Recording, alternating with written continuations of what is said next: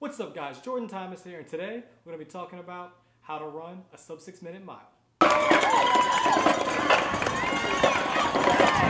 The secret to getting ahead is getting started, and one of the first things you're going to do is to run a time trial. Now, I've run the mile before, so I felt very comfortable going out into the track, taking four laps around, plus nine meters, just to get an idea of where I was at. Got out there, first quarter mile, I was gassed. On the second lap, I almost even ran into somebody. So by the time I finished, I came through in the six minutes, 15 seconds. I was feeling kind of down on myself, but I knew I had eight weeks to do one thing, and that was drop 15 seconds. The next thing you want to do is establish a routine. I knew that over the next eight weeks, I would be able to average about 30 miles a week, which would work out most weeks to five or six workouts uh, per week.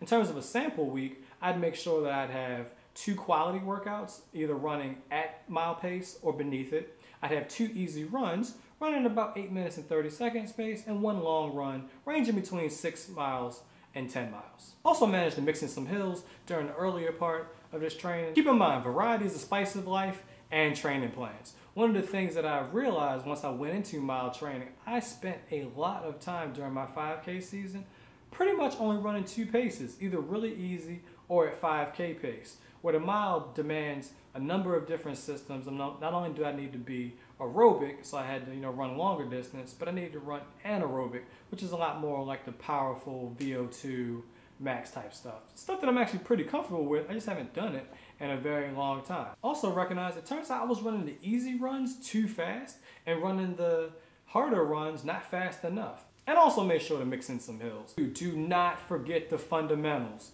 On your quality days, make sure that you have a proper warm up and a cool down. Thing to get your muscles warmed up, get ready for the, you know, for the, for the high intensity workout. Cool down is gonna help you speed up your recovery. Also, be sure to include drills and strides. The race day strategy is pretty simple to say, but it's a little bit difficult to pull off. So you want to start off your first quarter mile about two to three seconds slower than your ideal mile pace. Coming into the second quarter mile, you'll then start picking it up and be at your uh, mile goal pace. The third quarter mile, you'll want to be able to repeat what you did in the second. And for that fourth quarter mile is when you want to kick it on home. Now, when it came to the Brooklyn Mile, after going through my 15 minutes or so, warming up drills and whatnot, when that gun went off, I was out. I got out at about a minute 19 seconds. I was just on the edge of out of control, but not out of breath. And when I went past the uh, 800 meter mark, I saw the clock read 2 minutes 52 seconds. So I was able to compose myself and come, and come in a little bit slower. And so when I got to the three quarter mark, saw that it said 4 minutes and 22 seconds. And from that point, it would just get on my toes and kick it on home. And so I was proud to finally break six minutes and come through in 5 minutes and 42 seconds for a personal best and a hell of a way to start the 5K season. So please be sure to leave me some comments. I'd love to hear from you, whether or not you're you know right on the edge of breaking six minutes or what are the type of uh, workouts that you've done in order to break that.